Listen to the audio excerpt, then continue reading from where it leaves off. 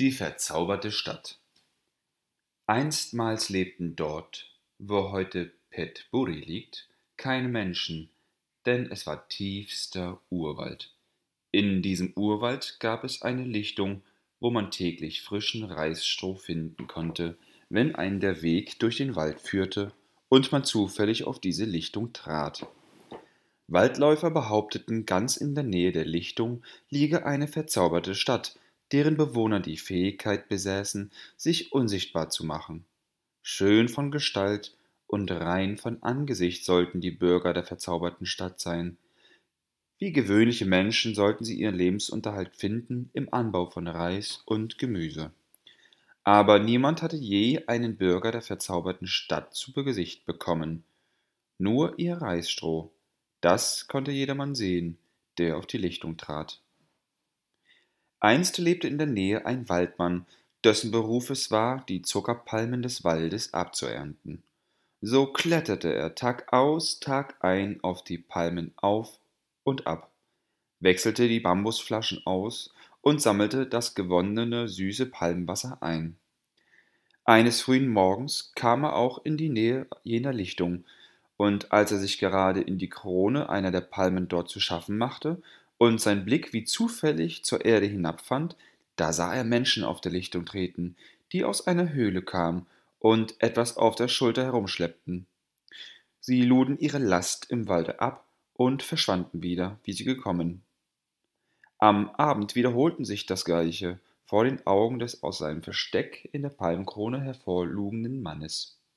Wieder kamen Menschen aus der Höhle hervor, gingen in den Wald und verschwanden mit ihren Lasten alsbald wieder in ihrer Höhle. Der junge Mann stieg von seiner Palme herab, und nachzusehen, was da aus der Höhle hervorgeschleppt worden war. Aber er konnte nichts finden. Beim Morgengrauen des nächsten Tages erstieg er wieder die Palme und lugte herab. Da kamen sie wieder hervor aus der Höhle, die sonderbaren Menschen, und schleppten ihre Lasten in den Wald. Als sie verschwunden waren, kam der Mann herab und suchte zwischen den Bäumen nach den Dingen, die dort abgeladen worden waren. Aber nichts fand er außer welken Blättern. Eines davon nahm er mit, als er wieder auf seine Palme stieg. Es entfiel ihm aber und flatterte zu Boden. Am Abend kamen die Menschen wieder aus der Höhle hervor, nahmen im Walde auf, was sie am Morgen dort versteckt hatten, und kehrten damit um zu ihrer Höhle. Nur eine junge Frau blieb im Walde zurück. Sie setzte sich hin und weinte. Als der Mann in der Palmkrone sie weinen sah, kam ihm der Gedanke, dass ihr Kummer vielleicht zusammenhänge mit dem Blatt, das er des Morgens mitgenommen. Er kam aus seinem Versteck herab und fragte die Frau Warum sitzt du hier und weinst? Die Frau antwortete Weil mir eines meiner Blätter abhanden gekommen ist. Da ging der Mann das Blatt holen und gab ihn ihr zurück. Die junge Frau freute sich sehr, und ihre Dankbarkeit verwandelte sich in Liebe. Sie lud ihn ein, bei ihr zu bleiben, und obgleich er schon eine Frau hatte, ward er von ihrer Liebreiz so betört, dass sich die Leidenschaft regte und er der fremden, jungen Frau folgte. So kam der Mann in die verzauberte Stadt. Er lebte mit der Geliebten glücklich und vergaß sein Zuhause. Nach Ablauf eines Jahres gebar sie ihm ein Kind. Nun musste der Mann für das Kleine sorgen, denn das ist in der verzauberten Stadt die Aufgabe der Männer. Die Frau ging indes aus dem Haus, um zu arbeiten. Eines Tages, als die Mutter wie gewöhnlich ausgegangen war, fing das Kind an zu weinen. Der Vater versuchte es zu trösten und sprach Ruhig, geliebtes Kind, dort drüben kommt ja die Mutter schon. Die Schwiegermutter hatte das gehört, kam heraus und fragte Wie soll meine Tochter jetzt schon zurückkommen? Der Mann antwortete Natürlich kommt sie noch nicht. Ich habe mit meinen Worten das Kind nur beruhigen wollen, damit es aufhört zu weinen.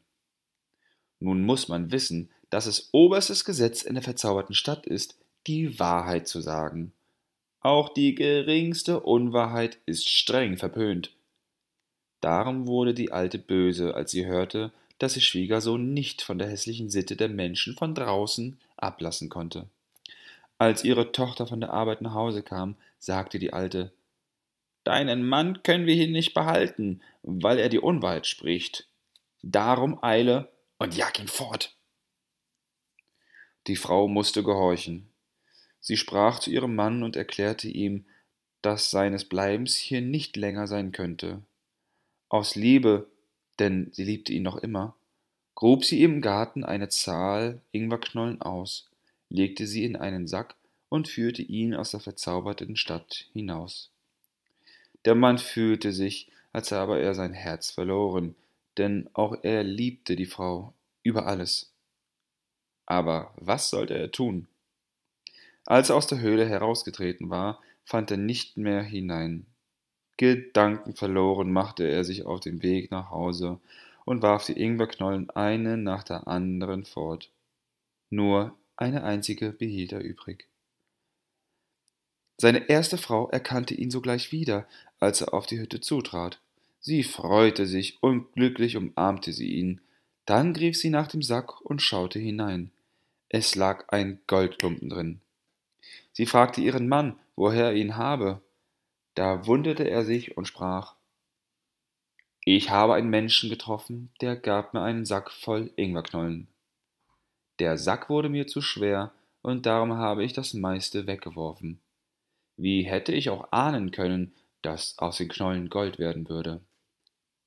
Schnell kehrte er zurück in den Wald, aber wie viel er auch suchen mochte, er fand die Ingwerknollen nicht. Traurig und mit leeren Händen musste er schließlich umkehren.